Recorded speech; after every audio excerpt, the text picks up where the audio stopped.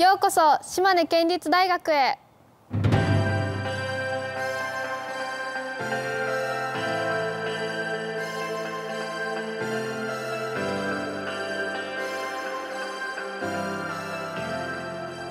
島根県立大学は浜田キャンパスに国際関係学部と地域政策学部出雲キャンパスに看護栄養学部松江キャンパスに人間文化学部と短期大学部を設置しています。それぞれの特色を生かしグローバルな視点を持って地域へ貢献しています。そしてここ浜田キャンパスには国際関係学部と地域政策学部が設置されています。国際関係学部と地域政策学部は困難な世界を生き抜くための技術と能力を身につけるため令和3年度に誕生しました。国際関係学部国際関係学科は英語をはじめ中国韓国ロシアなどの言語政治文化社会を学び国際社会の平和的発展と多文化共生を担うことのできる人材を育てます。地域政策学部地域政策学科は課題先進権と言われる島根県を一つのフィールドに地域が抱える課題に対して多角的な視点で解決策を見出し地域の発展に貢献できる人材を育成します。浜田キャンパスでは地域の担い手となる人材育成推進のため長期事業創造型インターンシップに取り組んでいます。この学生は地域課題に取り組む先進的なまちづくり法人の一員として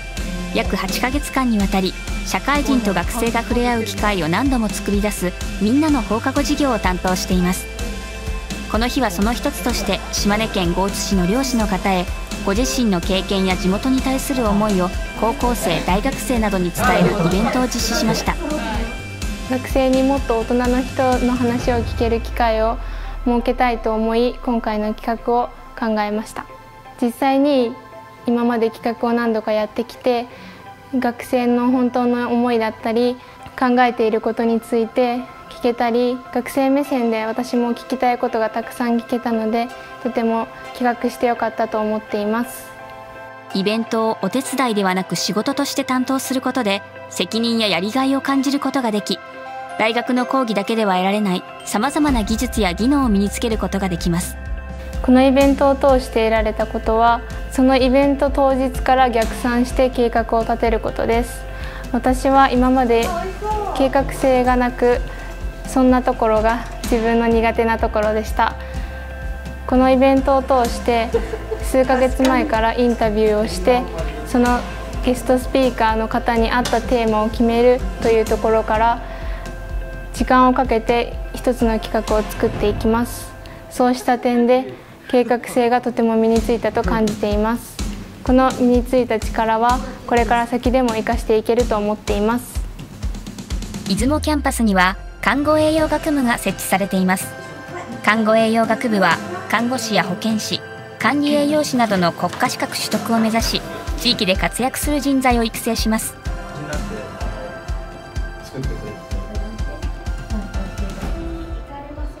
出雲キャンパスでは学生たち独自のボランティア活動も盛んです。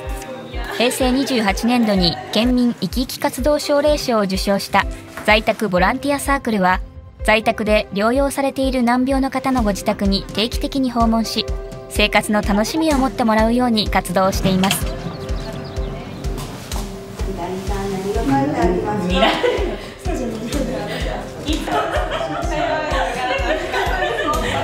進学部のカリキュラムでは2学科をコラボした講義や地域実習を多く取り入れています。在学時代から多職種の連携が不可欠だという地域医療マインドを自然に身につけることができるのは学生にとっても非常に大きなメリットになると思います。授業時間外でも学生が勉強したり互いに議論したりできる空間ラーニングコモンズを随所に設けるなど快適な学習環境が整ったと思います。松江キャンパスには人間文化学部と短期大学部が設置されています。松江の地で文化的教養を養い広く社会で役立てる実践力を兼ね備えた人材を育成します。ここは松江キャンパス内にあるお話レストランライブラリーです。大学附属の絵本児童図書専門の図書館で絵本を読む声や笑い声が聞こえてくる温かい場所です